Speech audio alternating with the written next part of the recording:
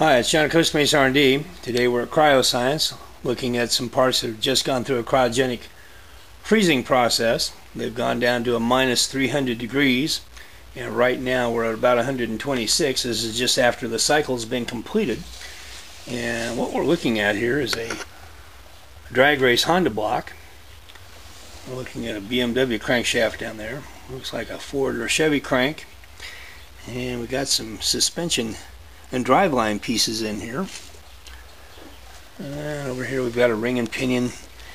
And these things standing up are actually ends that go in a drive shaft on an off-road vehicle.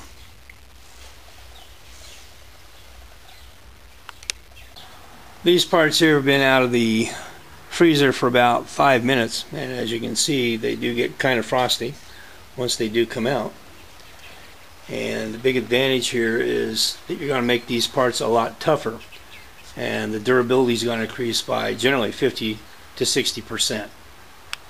We'll have double the fatigue resistance and double the wear resistance from these parts now that they've been cryogenically treated